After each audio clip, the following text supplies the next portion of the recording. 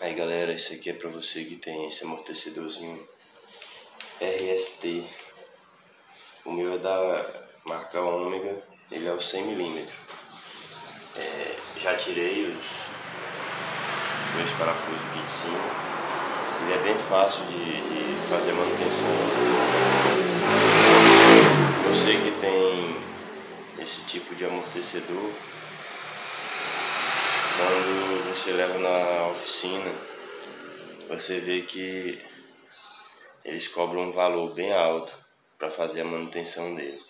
Só porque a chave aqui na parte superior é difícil sim, né? Difícil no caso só quem trabalha nessa área que procura ter uma chave dessa, não é uma chave que a pessoa tem em casa, tipo uma Philips, uma chave de anel, de boca. É uma chave que a pessoa não anda comprando, que é específico só para cá. E ainda tem vários amortecedores que as chaves são diferentes. Então você vai ter uma chave de cada amortecedor, sendo que é, você não vai estar precisando dela no dia a dia. Tem alguns amortecedores que esse parafuso ele é aqui dentro, ele é grande, a chave precisa você ou compra uma chave original, que é caro, ou você pega e solda uma chave Allen na ponta de um vergalhão para você estar tá tirando ele aqui. Já esse meu aqui, ele já é parafusado aqui por cima. Se esse parafusinho. Lhe der dor de cabeça, ficar rodando com a haste inteira, é, você pode estar tá batendo com o martelo para descolar a rosca, mas é uma pancada suave, não vá também exagerar não, só é uma pancadinha para ele acordar. Aí você vai com a alisinha, você consegue tirar. E aqui eu vou estar tá abrindo esse menino tava travado, como vocês viram aí o supapo aí. Aqui tem água de muitos e muitos anos. Vou estar tá fazendo a limpeza aqui e já já mostro mais para vocês. Como eu falei, muitas vezes você deixa de fazer a manutenção na sua bike porque é muito caro. A manutenção, manutenção desses tipos de bicicleta, porque as pessoas dizem que é complicado, então não tem nada complicado, apenas chaves específicas. Mas para isso tudo tem um jeito, um alicatinho de pressão você consegue pegar, não para amassar a peçazinha, mas você pega uma posição que não vai estragar e você consegue estar tá abrindo esse amortecedorzinho.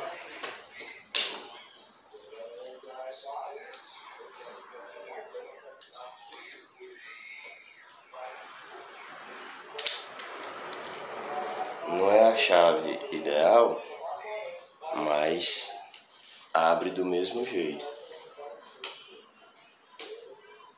O que importa é solução. Vamos solucionar esses problemas aí. Dá um grau amortecedor da sua bike.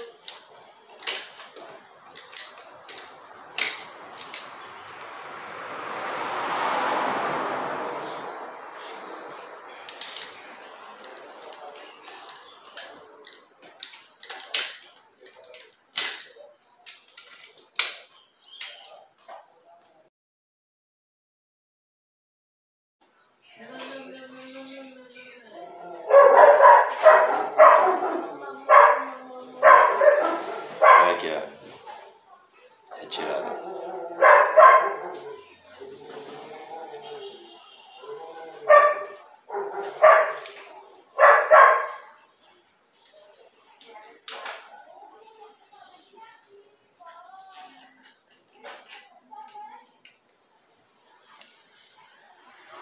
Essa aqui é a mola. Você só tem que prestar atenção em colocar na mesma posição. Agora tirar o outro lado e fazer a limpeza.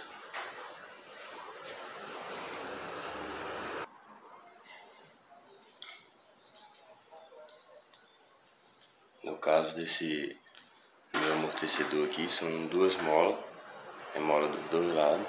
Tem alguns que tem um pistãozinho de gás, é, em força inversa, é, para quando a mola joga para cima, ele segura para a mola não jogar de uma vez, ficar aquele impacto muito forte. E tem algumas outras aí que precisa de um óleo específico para amortecedor. Esse aqui é simples, ele é só duas molas.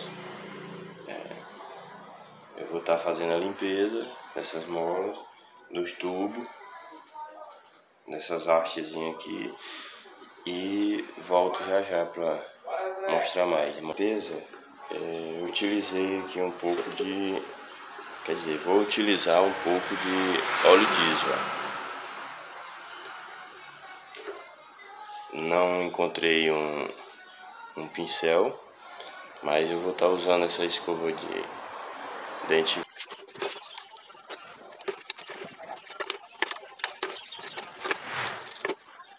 Vamos aqui para a montagem. Boa fácil. A aqui tem uma borrachinha, ela é bem macia para não ficar fazendo zoada.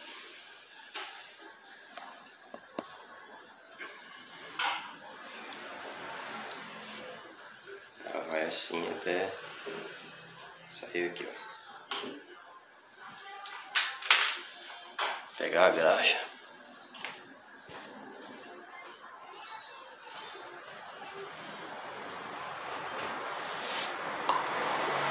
Lembrando, gente, que a graxa tem que ser a graxa especial para isso aqui, viu? Porque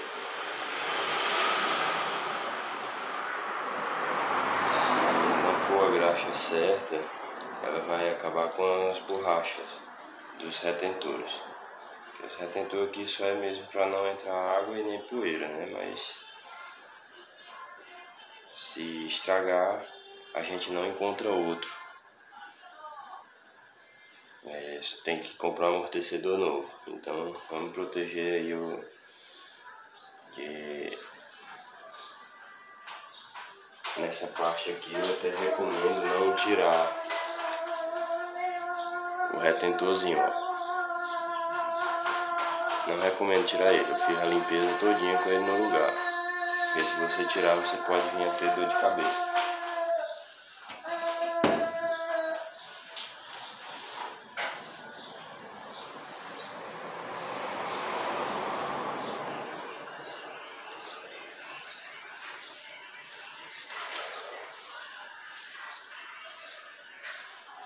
Aqui vocês vão ter que colocar bastante graxa, viu?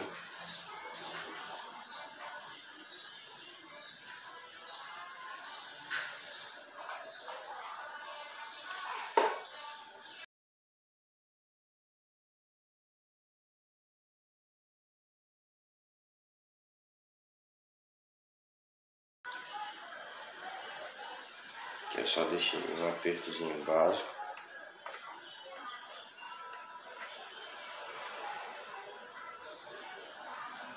Poder estar tá montando essa parte de cima.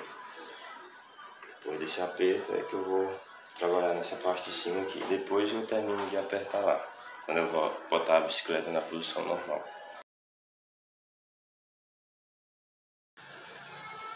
Coloca o batedorzinho, ó. Essa pequenininha é de cima, a maiorzinha é de baixo. Ela vai assim, ó, nessa posição.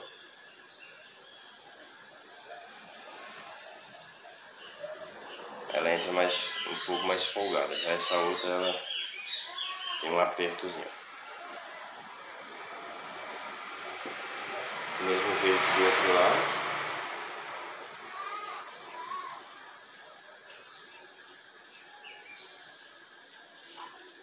É um lugar que você deve botar bastante graxa. Só nela, não precisa botar nada mais do que isso não na outra parte. No, cana, no. Só nela mesmo.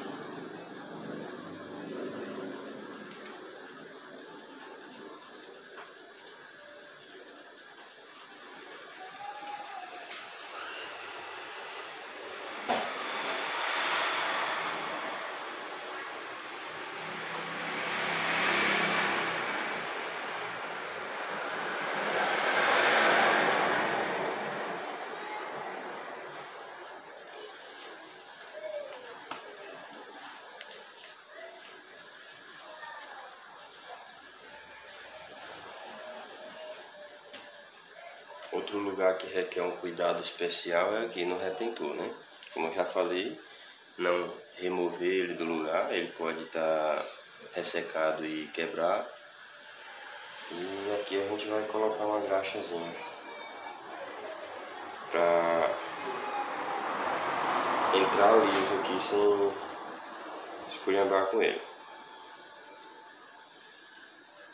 Porque qualquer coisa, como eu já falei, Qualquer coisa que acontecer com esse retentor, você não vai encontrar ele, só se for na sucata, em outro amortecedor velho já jogado aí para ir na sucata. Então, esse excesso de graxa que ficar aqui também, galera. Depois você dá, aproveita e dá uma lavadinha na sua bicicleta e tira? Não vamos se preocupar com isso não. Bote bastante graxa que é para proteger bem nossos amortecedorzinhos aí. Fazer manutenção direta para não ficar travando como esse.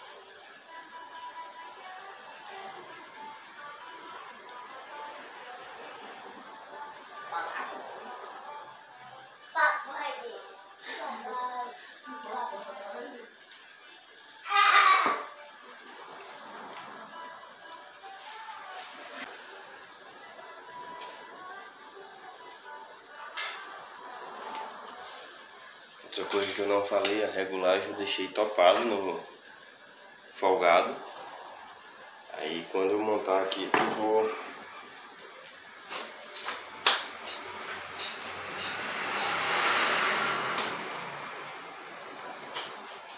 ver se precisa apertar mais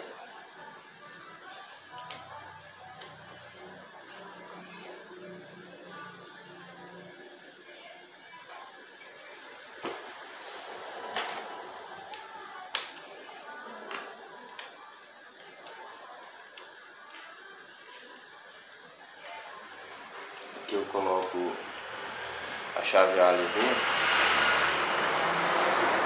só pra deixar aquela hastezinha pra o lugar do parafuso bem na posição certinha, ó.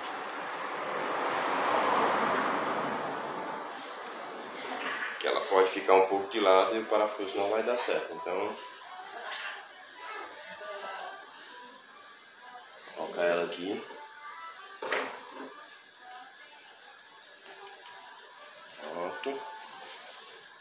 o outro lado do mesmo jeito.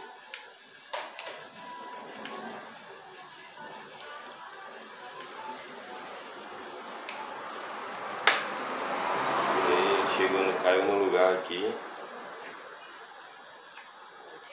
Primeiro parafuso com a rosqueia com a mão para ele entrar um pouco. Depois que depois você vai, encaixa a chaveada, porque você pode estar tá forçando e matar a rosca, né? Então, vamos fazer aí com cuidado para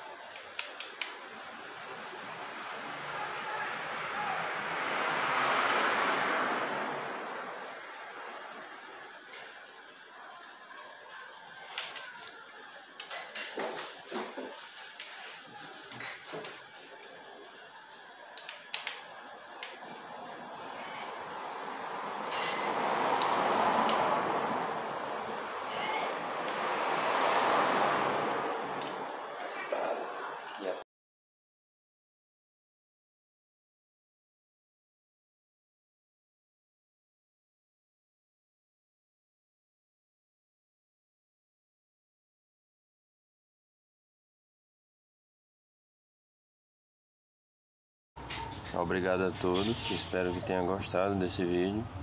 E minha bicicletinha agora tá pronta para pegar mais uma trilhazinha aí. Valeu, galera.